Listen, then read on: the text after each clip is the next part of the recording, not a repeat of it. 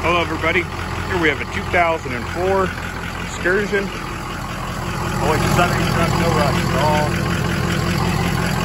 Tires are in good shape, ride's great. BF Goodrich all terrains.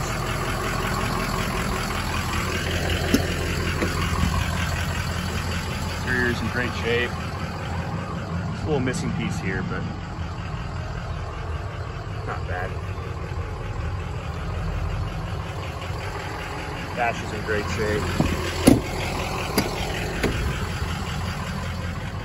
It's got the sun visor from Ford, protect the interior.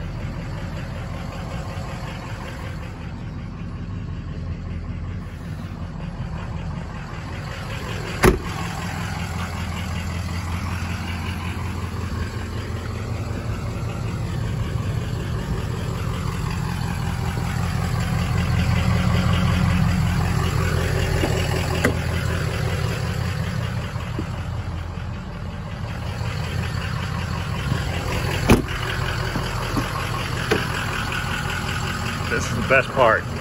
Owner's manual, of course, and it's got receipts on it since it was new. Previous owner just paid $4,000 at Waxahachie Ford to have it serviced, 182,000 miles. Made sure everything was completely good to go. They replaced the oil cooler, EGR cooler, EGR valve. This truck is nice. Body's in good shape. A couple of little nicks and knacks, you know, just with the age, of course but overall not bad. This is probably the worst one, would be this right here. PDR guy may be able to get that out